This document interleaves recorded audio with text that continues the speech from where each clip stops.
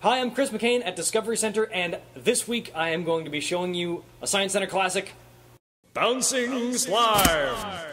So this week we're making bouncing slime. You're only going to need a couple of things, and you probably have at least one of them in your home already. And that is, we're going to be combining white glue with borax, and we're going to be turning it into this weird slime that'll be solid enough to bounce. The first step is to take some borax, that's just a white powder. Generally, we use it as an additive in laundry. Technically speaking, this is called sodium borate. And all we're going to do is dissolve enough of that in water that it stops dissolving. This is called a saturated solution. The main thing is just to keep mixing it until it mostly dissolves, but some of it's left in the bottom. So, I've got this extremely, extremely saturated solution of borax. And I need to add that to glue. I'm going to use lots and lots of glue. The key here is that you use as much glue as you want to have slime. So, I want lots.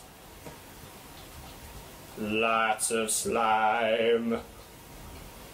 And once that's poured out, so you want to use a container of some kind that you don't mind getting a little bit sticky. Although, usually it comes out pretty clean.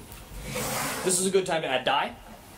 So, we'll make our slime blue. And then I'm going to quickly mix that in. I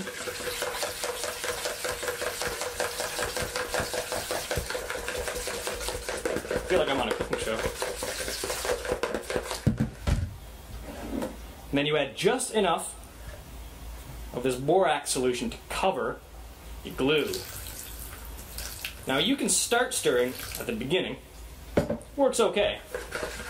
Very, very, very quickly, you're going to end up with a lump. And this is why it's fun.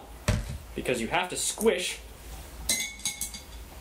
and knead your slime so that all of the glue comes into contact with this borax solution.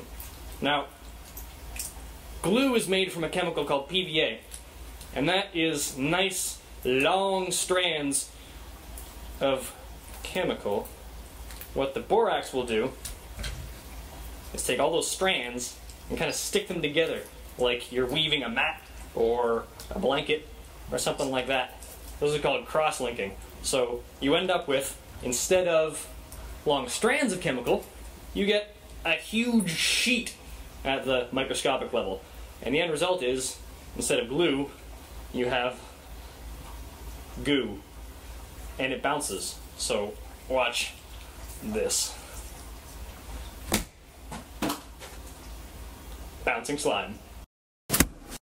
So this is something else you can do. You can use pretty much anything for a dye. I used fluorescein, which is another dye that will glow under a black light. See my little spots? So I've got all kinds of streaks and specks of fluorescein in here. And you can see it glowing from inside of our slime, which is just awesome.